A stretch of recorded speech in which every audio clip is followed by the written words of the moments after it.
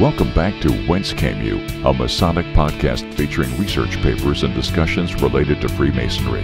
Here's your host, Brother Robert Johnson. Welcome back. This is episode number 400. 400 shows. I, I don't even. What did we even talk about?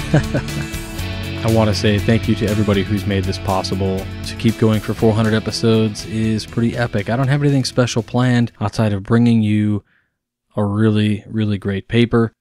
Want to let everybody know it was my mistake. I released the episode because I was going to be out of town. I released it early at 9:30 a.m. instead of 9:30 p.m. My mistake. Bonus, I suppose. Probably a few extra downloads this month just because of that, which is cool. So there was that. I just got back from Esotericon in Manassas, Virginia, where it went off like gangbusters. It was insane. It was so cool to hear all of the brothers give these fantastic talks about the deeper elements of the ritual, which of course is what we're supposed to contemplate and come to these conclusions. And of course, these esoteric talks really assist us in unpacking the deep materials that lie within the ritual. I gave a talk on apotheosis and quantum entanglement, and I think it went okay. um, I got a lot of questions, which I really thought was wonderful. You know, sometimes you give a presentation and there's no questions and you just have blank stares, and that's how you know you were either way over somebody's head or they just thought you were crazy.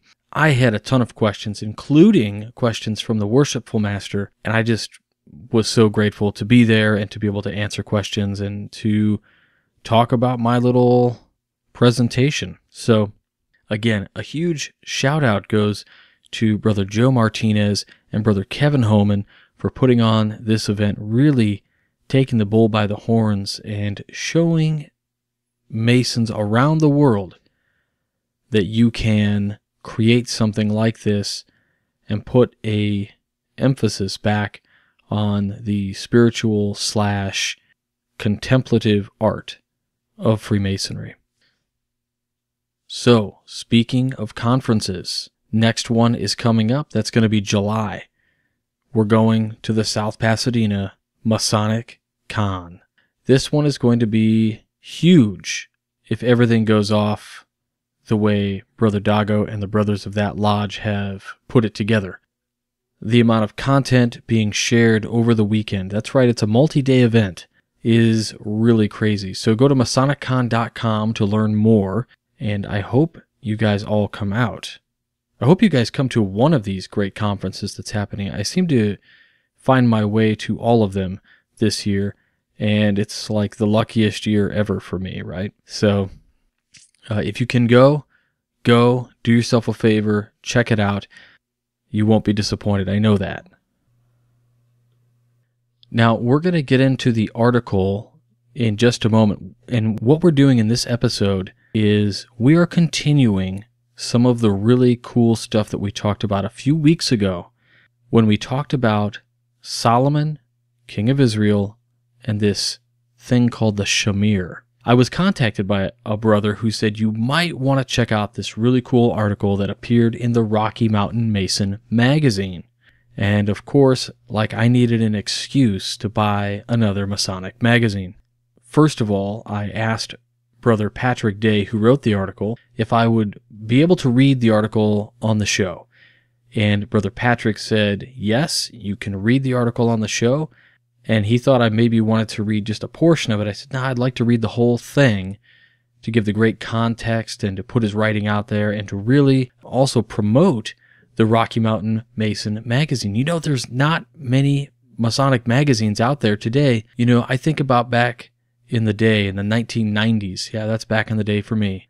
Uh, going to a Barnes and Noble bookstore or um, Borders, if you guys remember those and there would be a magazine rack that would have magazines on any subject you could think of. You'd find a magazine on doilies or bottled water weekly or you know you name it and there's just not a whole lot out there for Masons. We've talked about it before. Of course, there was the Working Tools, there was Living Stones, there's Rocky Mountain Mason Magazine, there's the California Freemason, there's Freemasonry Today, there's Every State's Grand Lodge Magazine.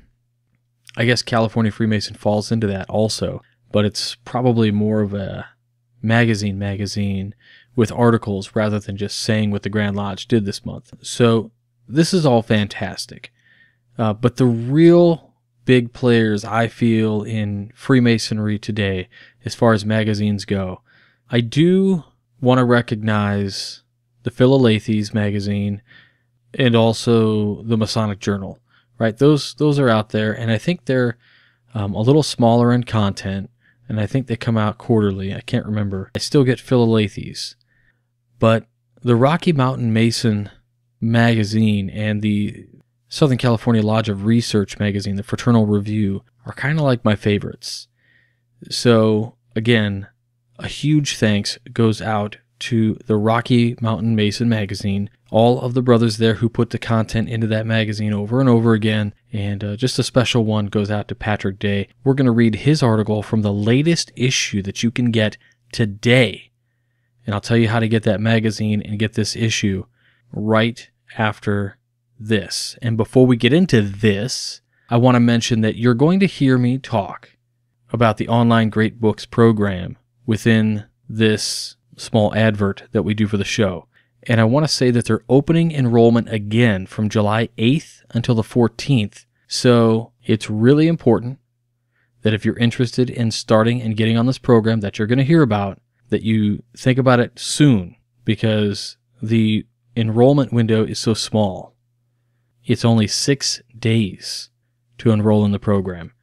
And it's a fantastic program. Anybody who has taken the program, who's in the program, will tell you great things about it. So, onlinegreatbooks.com.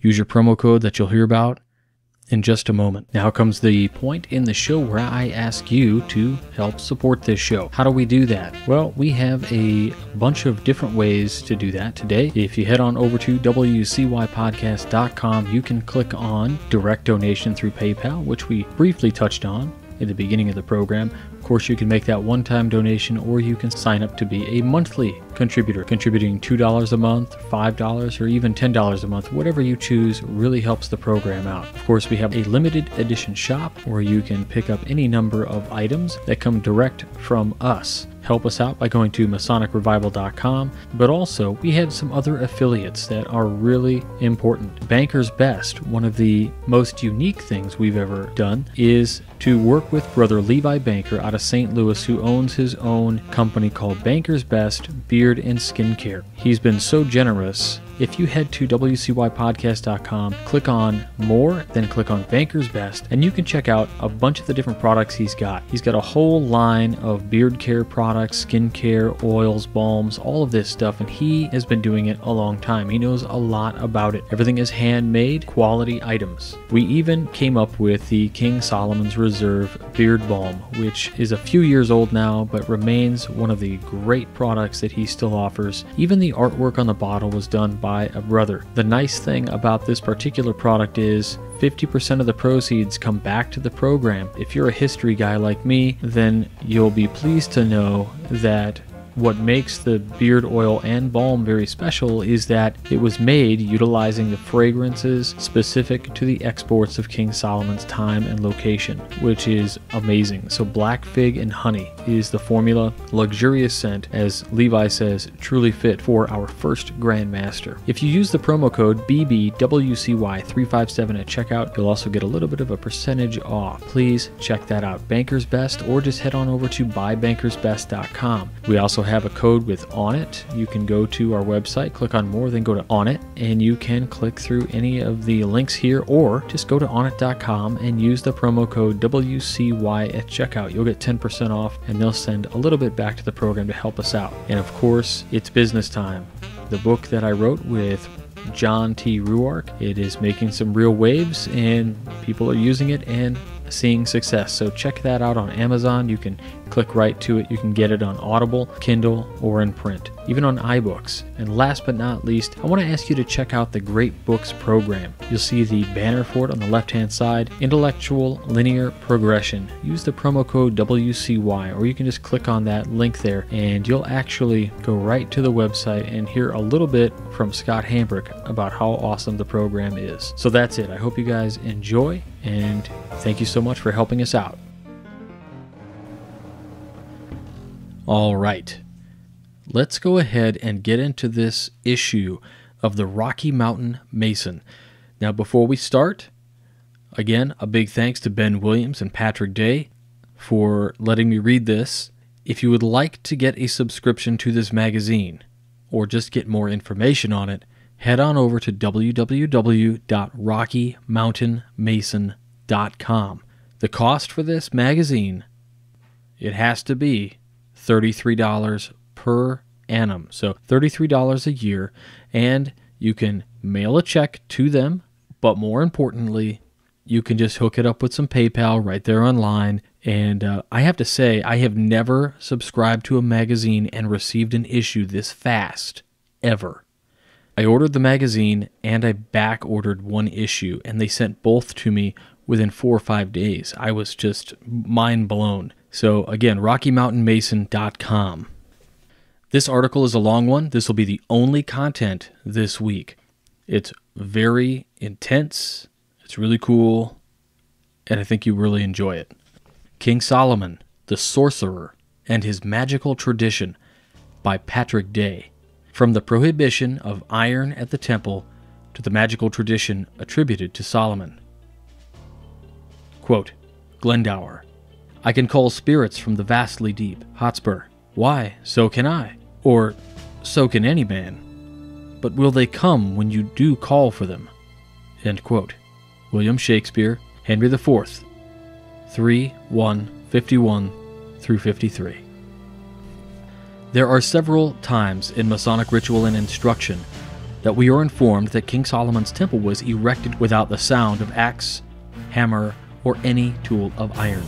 This, of course, comes directly from the Old Testament. Quote, the house was built with stone, finished at the quarry, so that neither hammer, nor axe, nor any tool of iron was heard in the temple while it was being built. Quote. Quote unquote. It might seem strange to you, we are told in the entered apprentice degree, that the building of such stupendous magnitude could be erected without the aid of some iron tool. Indeed, it is quite strange that such a feat could be executed. But Masonic tradition informs us that the stones were all hewn, squared, and numbered in the quarries where they were raised, the timbers were felled and prepared in the forests of Lebanon, conveyed in floats by sea to Joppa, thence by land to Jerusalem, where they were set up by the aid of wooden setting mauls. This is actually a fairly reasonable explanation of why there was not heard on the building site the use of any iron tool, for the iron tools were being worked in the quarries or in Lebanon, and everything was organized and planned so that all that was necessary to assemble the stones and timbers was to tap them into place with a wooden setting maul, as explained in Masonic ritual and the Old Testament. While this is an interesting method of construction, it stands to reason to ask a very logical question.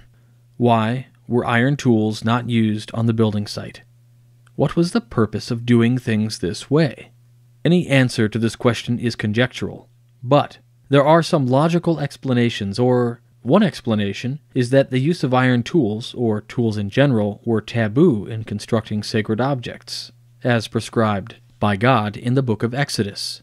You need make for me only an altar of earth, and sacrifice on it your burnt offerings and your offerings of well being, your sheep and your oxen. In every place where I cause my name to be remembered, I will come to you and bless you. But if you make for me an altar of stone, do not build it of hewn stones, for if you use a chisel upon it, you profane it.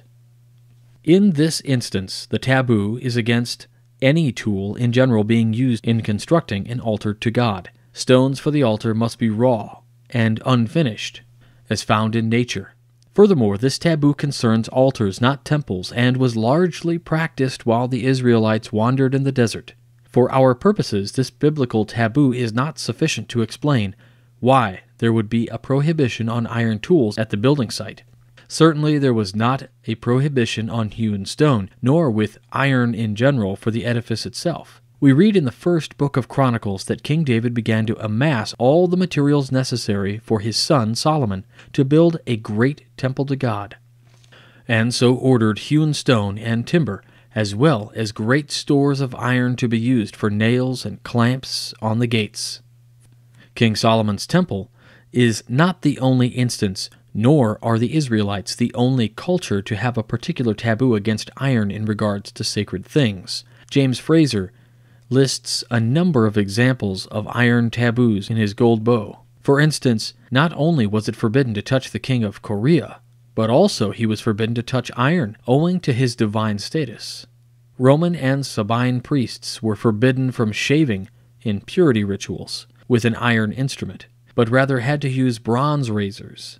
Iron was prohibited to be brought within Greek sanctuaries. In several cultures, with steel knives being prohibited, animal sacrifices were thus performed with obsidian or quartz knives. Frazer also mentions the Pons Sublicius, the first public work project of the Romans, which was a bridge crossing the Tiber River that was made entirely out of wood, no iron. Plutarch says the bridge was sacred and was constructed without iron to observe the counsel of the oracle, but it is just as probable that such a construction made it easier to tear down. But it is possible that such a construction made it easier to tear down the bridge in the event of an enemy invasion, as was the case for Horatius Cocles. Frazer remarks that the objection to the use of iron might have been a conservative reaction to a new technology.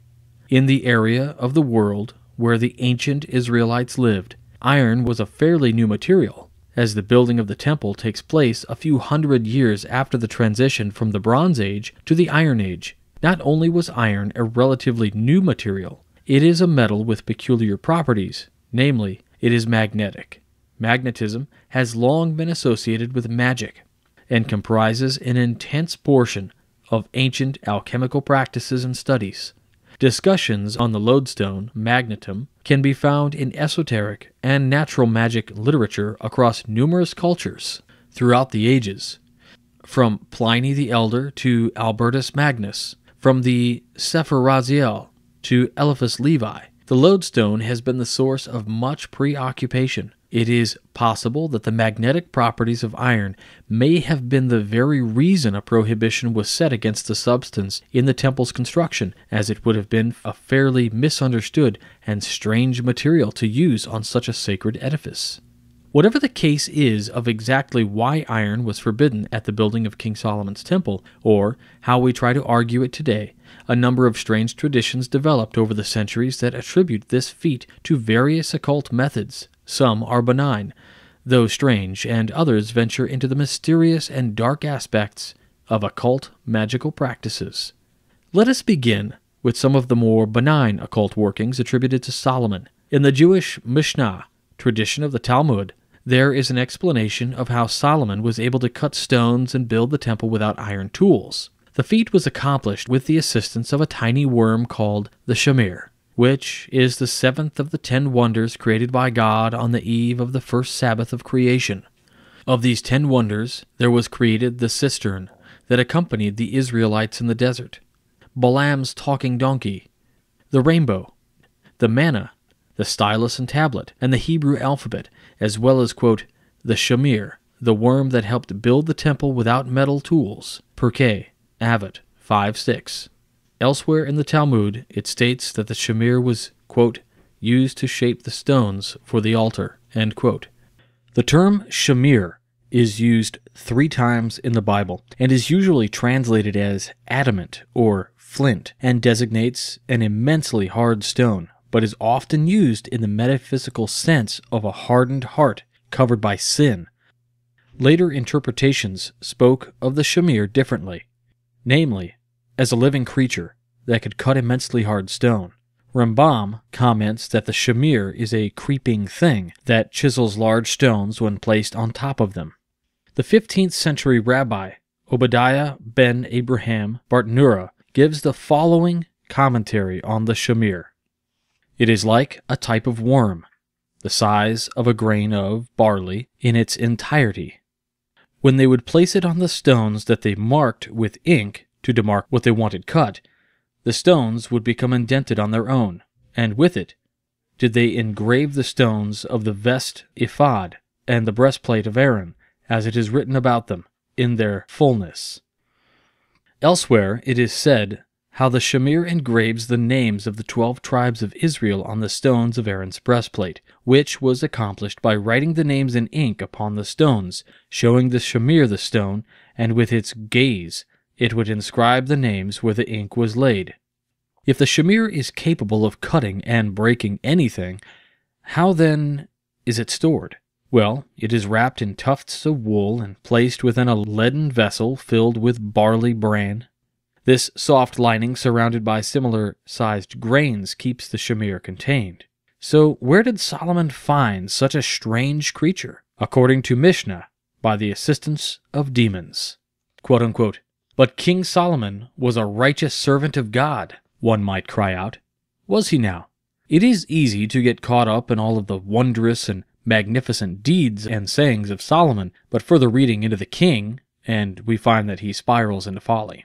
In his old age, he had amassed a horde of foreign wives, a thousand wives to be exact. Solomon had been forewarned to not let these foreign women sway his heart. But eventually, he began to worship and sacrifice to Astarte, and Moloch, and even build temples to Chemosh and Moloch. This so enraged God that he promised Solomon that he would rend his kingdom apart. Islamic traditions hold that Solomon regularly consorted with demons called jinn, or genies. For instance, the Quran speaks of Solomon's control of jinn and how he used them to build the temple. And to Solomon, we the angels subjected the wind, its morning journey was that of a month, and its afternoon journey was that of a month. And we made flow for him a spring of liquid copper. And among the jinn were those who worked for him by the permission of his Lord, and whoever deviated among them from our command, we will make him taste of the punishment of the blaze.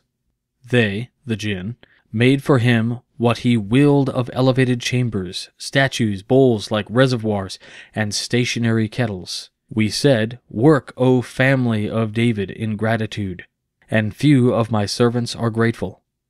Jinn were even present at Solomon's death, when a worm had eaten through his staff and caused him to fall, and the Jinn were ashamed they did not know of the unseen worm. In addition to controlling the winds, Solomon also had command over birds and horses, as he could speak with animals, which partially composed his army of men and jinn, and with whom he frequently would consult. He even used jinn to bring the queen of Sheba's throne to him before she arrived in Jerusalem. Even the wisdom of Solomon itself has been interpreted as a demon that God put within King Solomon, in the sense of the Greek daemon, or Latin genius, a personal attending spirit. This interpretation can be derived from Scripture when God says, quote, I give you a wise, discerning mind, as if God's implanting in Solomon a wise mind. The original Hebrew literally translates as, I have given you a wise man as a son. The Septuagint Greek text translates literally as, I have given you a wise heart and wisdom as your begotten. A few things should be understood about the nature of spirits and demons during this time period, as well as the relationship between Solomon working with demons and his continued devotion to God. Firstly, demons were a fact of life. From Adam and Eve on up through the time of Christ and on through the Renaissance, demons and spirits were a given. They were not metaphors, nor were they abstract notions, but were considered to be very real entities. Secondly, Demons did not have the same reputation in ancient times as they do today. Some were benevolent and others were malevolent, but for the most part, they were more or less ambivalent. In ancient magical practices, demons were considered nothing more than spirits that could be manipulated or coerced into doing the magician's bidding. Some spirits were more willing while others put up a struggle, and some obeyed the magician while others would trick him or her. In other words, spirits were similar to people. They can be industrious or lazy, loyal or lying cheats, and they can be nice or mean. We read in Plato's Symposium that everything demonic is between divine and mortal. In other words, if it is not the gods, or of mortal life, but somewhere in between. Then it is in the realm of demons. Divine revelations and visions are transported from the gods to human via demons, and prayers and sacrifices are sent to the gods from humans by the aid of demons. Thus, a demon might be considered good if it was serving a benevolent function, such as providing divine assistance, but they might also be considered evil if they carried out some sort of divine punishment, such as illness and death. It is only later in Christianity that spirits came to be regarded as evil in general, and only angels worked on behalf of God. Socrates himself had a daemonion, literally a demonic or divine something. This divine something of Socrates came to him in childhood. It would speak to him as a voice, often warning him against errors, but never telling him what to do.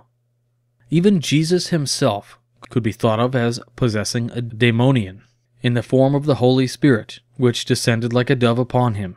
If we drop the holy part of the Holy Spirit and just consider it as a spirit, we will find examples of things that people were burned at the stake for in medieval Europe. Mary was impregnated by the Spirit.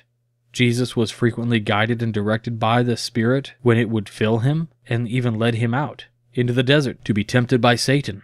Many of Jesus' miracles are done by the power of the Spirit, such as casting out demons, the Spirit who also said to have raised Jesus from the dead. In fact, it was prophesied in the book of Isaiah that, quote unquote, the Spirit of the Lord shall rest on him, the Spirit of wisdom and understanding, the Spirit of counsel and might, the Spirit of knowledge and the fear of the Lord. And again, quote unquote, I have put my Spirit upon him, the Gospel of Matthew attests that this prophecy of Isaiah was fulfilled in Christ. Jesus even imparts the power of the Spirit unto his disciples, and that the Spirit will speak through them. Just as the Holy Spirit of the Lord dwelled upon Jesus, so too did the wisdom of God dwell within Solomon as an extra entity that guided him, but did not control him. In fact, the two daemonions of Solomon and Jesus are quite similar. Some scholars have speculated that the wisdom of Solomon and the Holy Spirit are the same thing. In the Apocryphal Testament of Solomon, there are several instances in which the demon, a demon, refers to Solomon's wisdom as, quote unquote, he that in thee is reigning, and Solomon himself refers to the wisdom dwelling within me, as if it were an extra entity.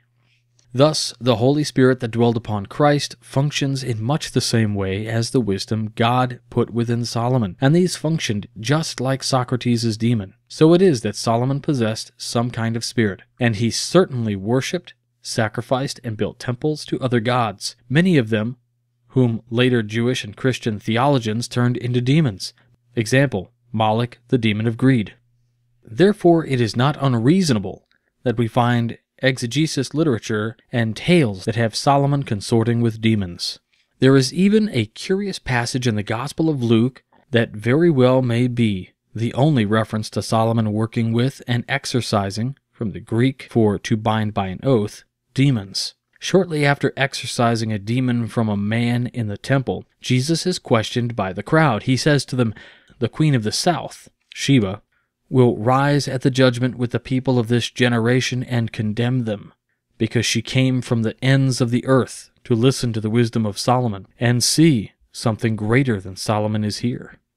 Exactly what the relevance of such a claim after an exorcism is uncertain, unless we take this to mean that Jesus' own abilities as an exorcist would have caused greater astonishment for the Queen of Sheba. In many traditions, she is considered a witch, than she had for Solomon's ability to exorcise demons. Now let us return to Solomon's use of demons to help him find the Shamir. The Mishnah gives us the following tale of how Solomon used the king of the demons to secure the Shamir. Solomon came to the priests and asked how he could precisely cut the stone of the temple without the use of iron tools. They tell him to find the shamir which Moses used to engrave the stones upon Aaron's breastplate. They advised Solomon to capture two demons, a male and a female, and to torture them together. Through torture, they may reveal where the Shamir is hiding. Solomon did so, but the demons swore they did not know where the Shamir was, but told him that Ashmedai, or Asmodeus, the king of the demons, may know where.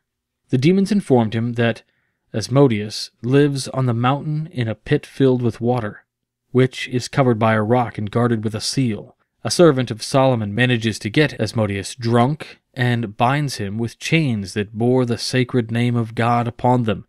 When the demon was brought before Solomon, the king asks him for the shamir. Ashmedai tells him, The shamir was not given to me, but it was given to the angelic minister of the sea, and he gives it only to the wild rooster, also known as the Tukifat, or Hoopoe, whom he trusts by the force of his oath to return it.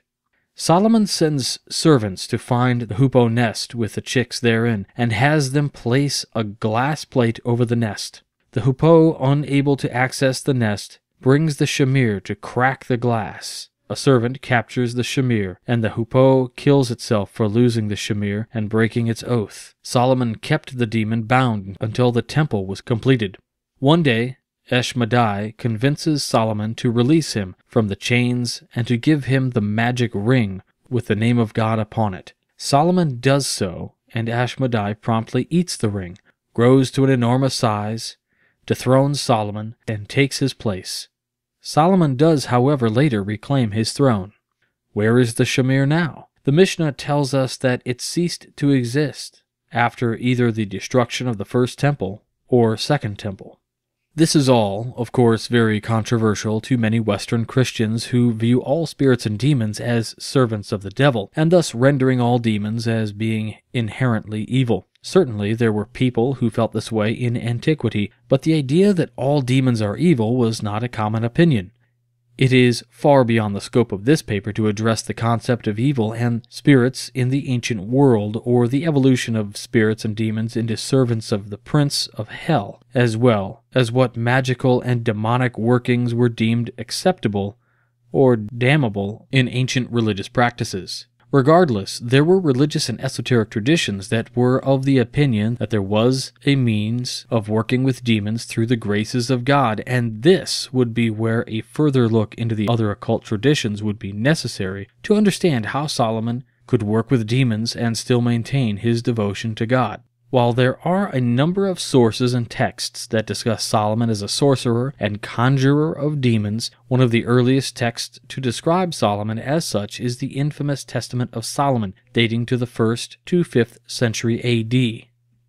The Testament of Solomon is a strange composition of Greco Roman magic that is primarily based on the Greek magical papyri, with a great deal of Jewish and Christian mysticism and occult elements mixed in. It exemplified the transition from the PGM, the Greek magical papyri, to the Solomonic grimoires of the Renaissance, which will be discussed later. In the Testament of Solomon, King Solomon prays to the Lord to help him put down a demon that is tormenting a young child. The archangel Michael brings to Solomon a magic ring with the pentalpha, five A's arranged as a pentagram or five pointed star, inscribed upon it.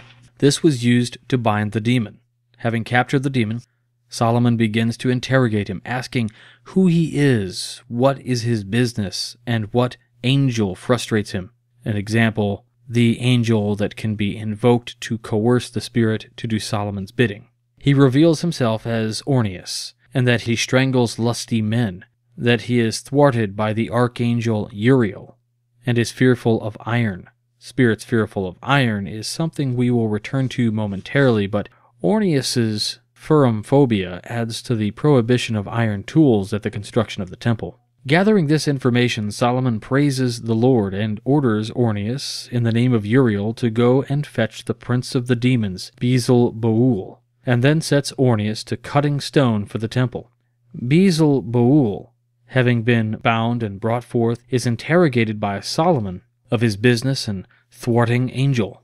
Beelzebul, thus bound, then assists Solomon in bringing forth all the other demons under his command, and is forced to cut the marbles for the temple. A total of 59 demons appear before Solomon for interrogation and are either set to work on the temple or are sealed away in jars.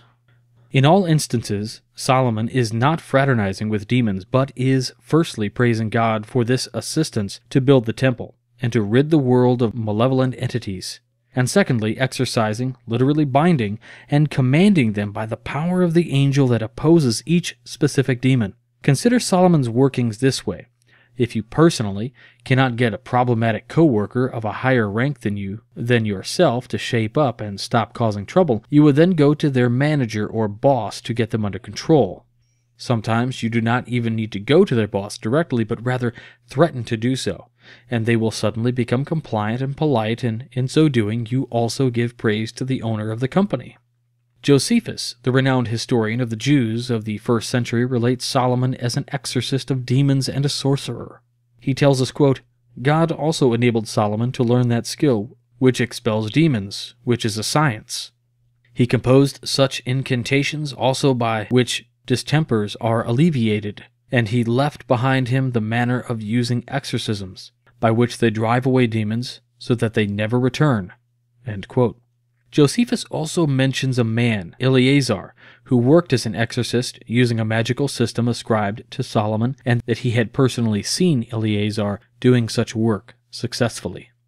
This magical system ascribed to Solomon is better known as Solomonic magic. The time period Josephus is writing his Antiquities of the Jews is almost contemporary with the Testament of Solomon, and would indicate that the magical system ascribed to Solomon is at least a century or two older than Christ. The Testament of Solomon is not considered a grimoire, though it does contain a number of magical prescriptions, incantations, and descriptions of phylacteries and protective amulets given throughout the text. It most likely is the source of later Solomonic grimoires. It is not my desire to discuss here the inner workings and procedures of Solomonic magic, as it is far beyond the scope of this paper and beyond my field of knowledge. I wish to approach this magical tradition by a comparative method of historicist occult texts to understand potential genealogies and relations of how later occultists perceived Solomon as a conjurer of demons, as well as how these grimoires utilize iron in relation to spirits. Firstly, it should be understood that the Western magical tradition is a broken tradition. Unlike the magical traditions of the Orient, which have preserved the same occult practices for thousands of years, most Western magical practices have their origin in a magic system that was partially preserved through practicing magicians and their sorcerers in ancient Alexandria, who wrote down their spells and operations. These magical workings, prayers, tables, charts, prescriptions for amulets, and phylacteries, etc., were written down on dispersed papyri, which were later compiled and translated during the antiques hype of the 18th and 19th centuries. These texts are known as the Greek Magical Papyri, or PGM, the PGM is, critical in its foundation of Western occult practices, but most of its contents are incomplete and frequently state things like, quote unquote, do the usual, without any explanation of what the usual is, which indicates lost material. Most of this material was lost due to the various Roman rulers who sought to have this magical tradition stomped out, as it posed a threat to their rule and the empire, and the same done later under the rise of Christianity and again in the spread of Islam.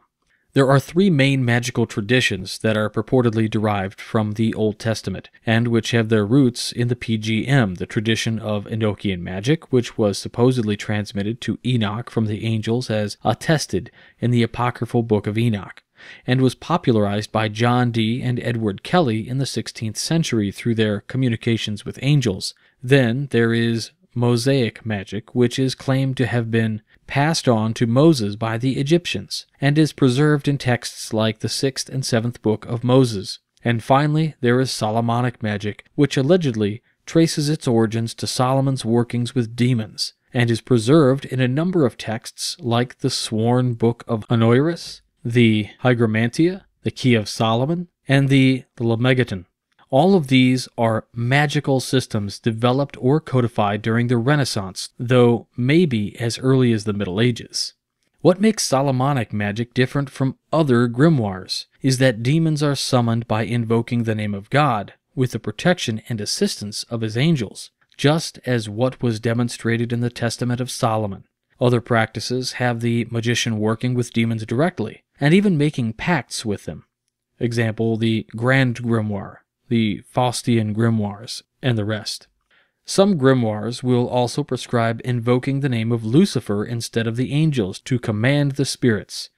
Others prescribe working strictly with angels, and even summoning your own personal holy guardian angel and binding it directly to your head. Examples would be the Abramelin, Enochian magic, and the practices of the Hermetic Order of the Golden Dawn.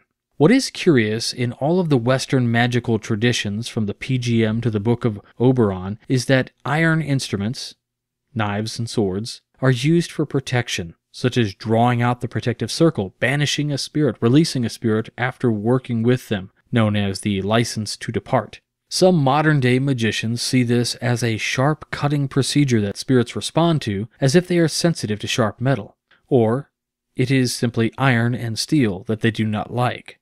That is, unless the spirit is ruled by the planet Mars, in which case iron is its associative metal and it's appropriate for such th- items as sigils.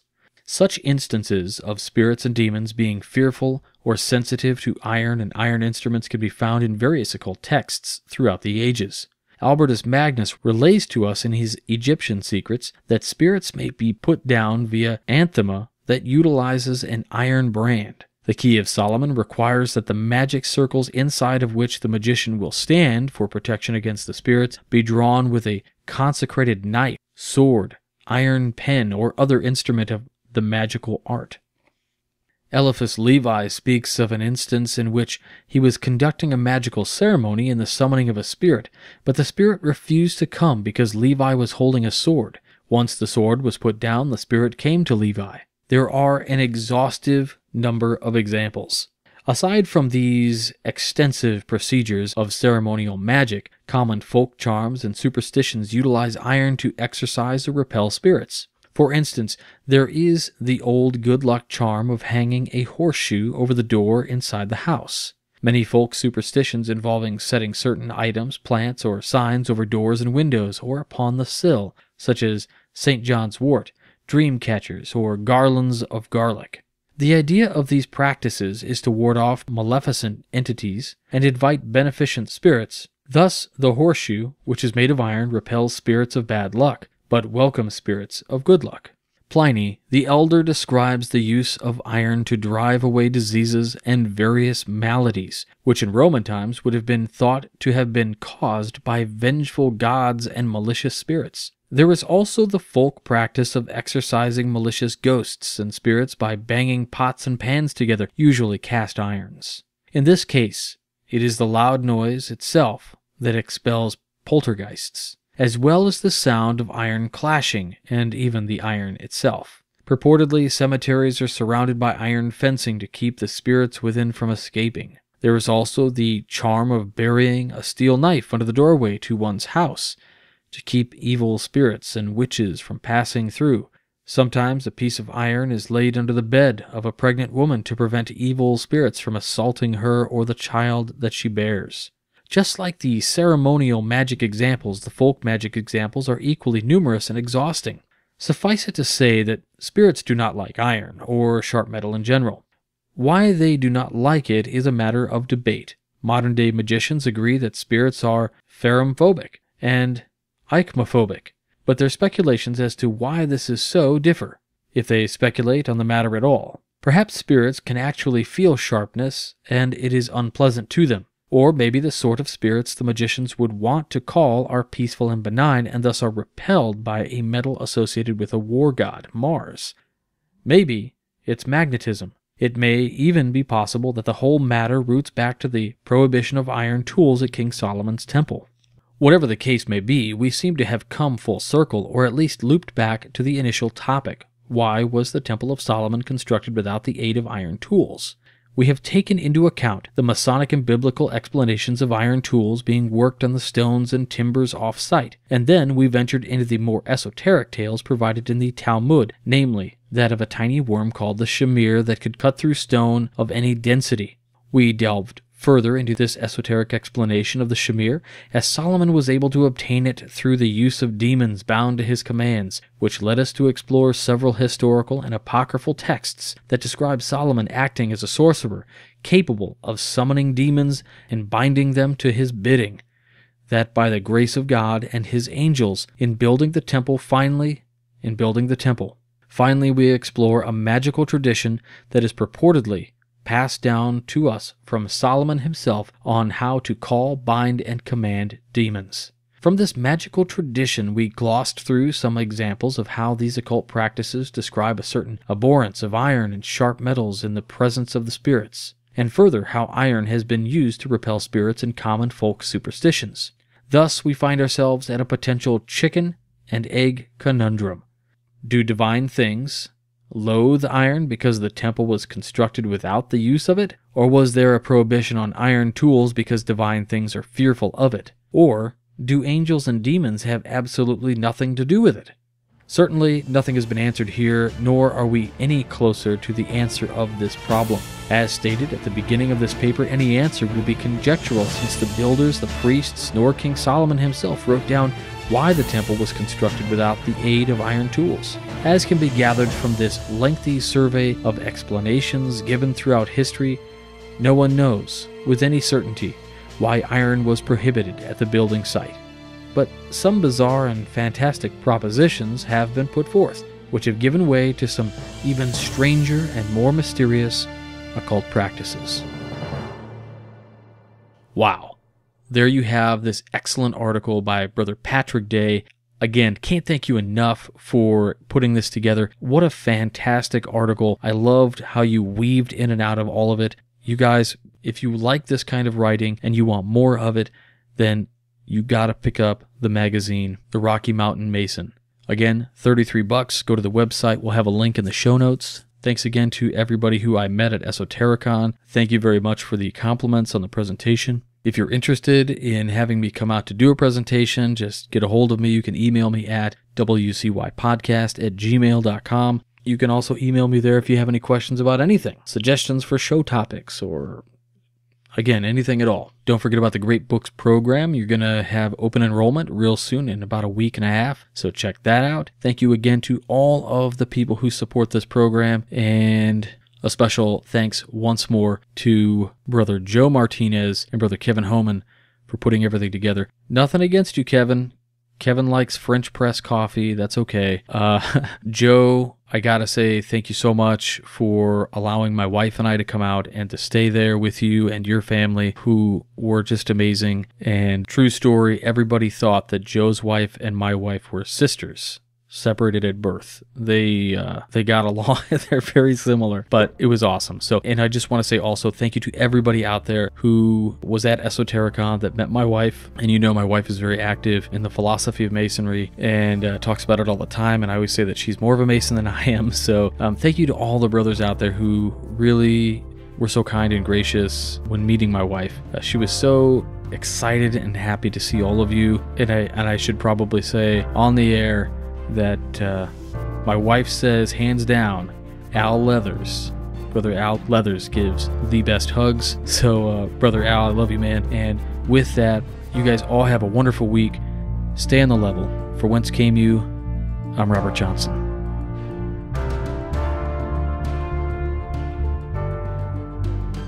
You've been listening to Whence Came You, a Masonic podcast featuring research papers and discussions related to Freemasonry with your host, Brother Robert Johnson. Be sure to join us for our next edition.